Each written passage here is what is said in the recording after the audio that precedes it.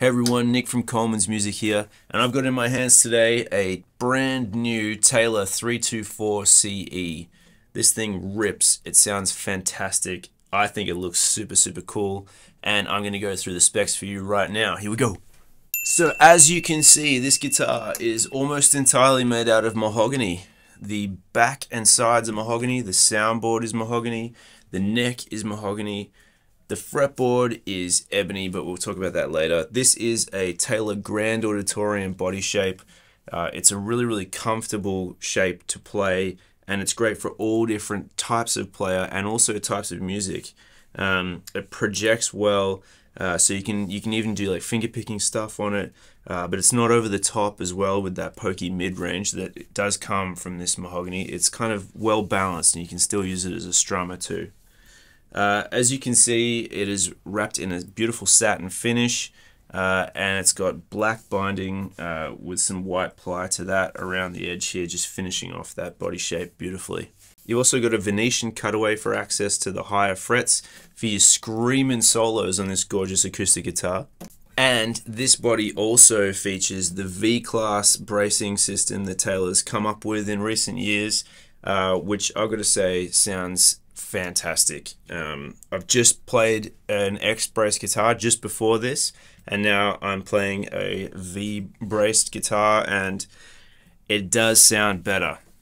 What are you going to do? As I said earlier, the neck on this guitar is made out of beautiful tropical mahogany, uh, but you also have a West African Crelicam ebony fretboard on here, um, which really has a lot of snap to it. So if you're a funky player, maybe this is the right guitar for you. It's a 25 and a half inch scale length and you've got 20 frets. These fancy swirly uh, inlays here are called gemstone inlays. They're Italian acrylic. This guitar feels beautifully finished thanks to a black uh, binding on the edges of the neck there. Um, just kind of makes it feel a little bit more classy and expensive as well.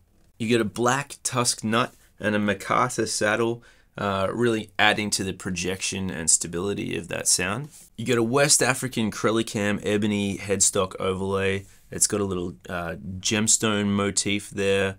Uh, it has black, uh, satin black Taylor quality guitar tuners on there uh, that are super stable and easy to tune with. Another little point of difference on this guitar is that it's got West African Crelicam ebony bridge pins as well, and uh, they're pretty cool. Underneath the hood, you've got an Expression System 2, the ES2 pickup system. It sounds great uh, and it, it's easy to use, just three controls there. Um, I recommend coming into the shop and plugging this guitar in to hear how this sounds uh, in a live context because I've only recorded it with microphones because someone really, really complained quite a lot in the comments section about me one time blending in some of the pickups. So, you know, what are you going to do? You can't please everyone all the time. But this time, microphones only. The other thing that's cool about this guitar is that it comes with this awesome brown Taylor Deluxe hard shell case, uh, which is nice and sturdy. You could tour uh, for many, many years with this guitar in this case, and I think you should. So that is the 324 CE. I'm going to have a play of it and you can hear how lush this thing sounds. Here we go.